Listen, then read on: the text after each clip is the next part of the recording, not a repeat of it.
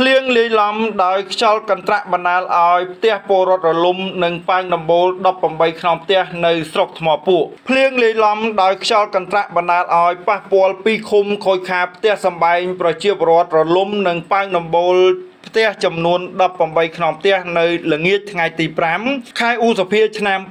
2024នៅស្រុកថ្មពួកលោកអែមសុខាអភិបាលស្រុកថ្មពួកបានប្រាប់អ្នកសារព័ត៌មានឲ្យដឹងថាភ្លៀងមួយមេធំលាយឡំដោយខ្យល់កន្ត្រាក់បណ្ដាលឲ្យប៉ះពាល់ពីឃុំ និងខូចខាតផ្ទះសម្បែងប្រជាពលរដ្ឋរលំទាំងស្រុងនិងប៉ើងដំបូលអស់ចំនួន18ខ្នងផ្ទះក្នុងនោះមានឃុំគំរូប៉ះពាល់ចំនួន6ខ្នង និងឃុំថ្មពួកប៉ះពាល់12ខ្នង ដែលរងការខូចខាតធ្ងន់ធ្ងរមានបាក់និងរលំទាំងស្រុង8ខ្នងផ្ទះរងខូចខាតគោយន្តកន្ត្រៃមួយគ្រឿងដែលផ្ទះរលំសង្កត់លោកបានបញ្ជាក់ថាភ្លៀងធ្លាក់មួយមេធំរយៈពេលជាង1ម៉ោងគ្របដណ្ដប់2ឃុំ មានឃុំគំរូឃុំថ្មពួកដែលមានភ្លៀងធ្លាក់ចាប់ពីម៉ោង3រហូតដល់ម៉ោង4ល្ងាចហើយមានលាយឡំដោយខ្យល់កន្ត្រាក់បណ្ដាលឲ្យប៉ះពាល់ផ្ទះសម្បែងប្រជាពលរដ្ឋពីឃុំចំនួន18ខ្នងផ្ទះដែលរលំនិងប៉ាងដំបូលនិងជញ្ជាំងបណ្ដាលឲ្យខូចខាត លោកអែមសុខា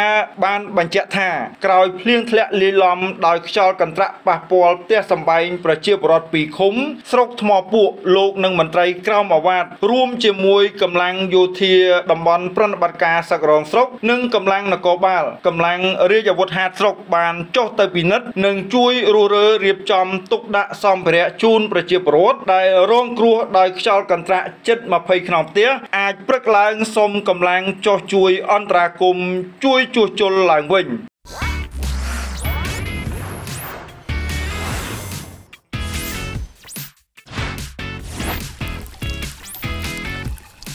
សាច់ស្អាតលីរលោង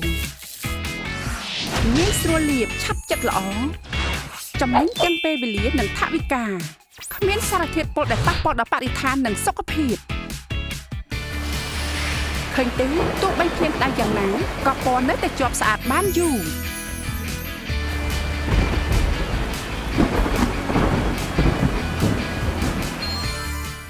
ចង់ភ្លឺខ្លាំងក៏បានភ្លឺល្មមក៏បាន